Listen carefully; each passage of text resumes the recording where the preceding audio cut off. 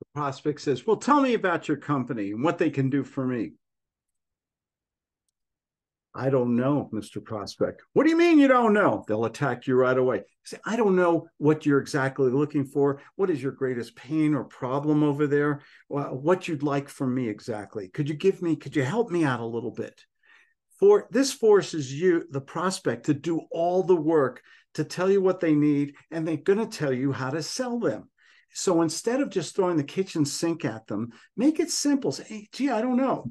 And then when they attack you, say, Well, I don't know how our product or service applies to you. Or say, You're working with a good company already. Why don't you just stay with them?